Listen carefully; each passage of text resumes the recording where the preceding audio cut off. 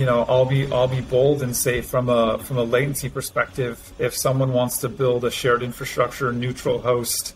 um, Open RAN, you know, 7.2 functional split capability, we're the only people in the U.S. that can offer it um, at scale today. The architecture of Vapor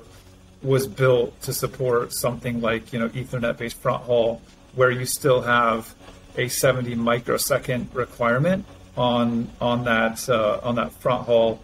uh, to the to the radio. You've probably heard folks, you know, others that have built these sort of ORAN networks in other countries say that you know it's really a greenfield build that is needed in order to support, and we agree. Like taking a bunch of central offices uh, and trying to do this with a bunch of COs,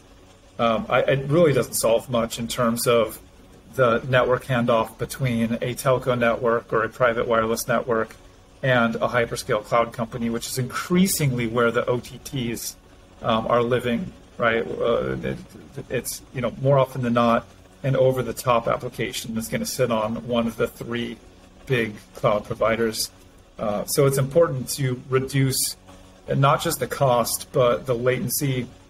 and the overall complexity from that on-prem or from that aggregation point to its closest cloud or the or the core um, as some like to call it.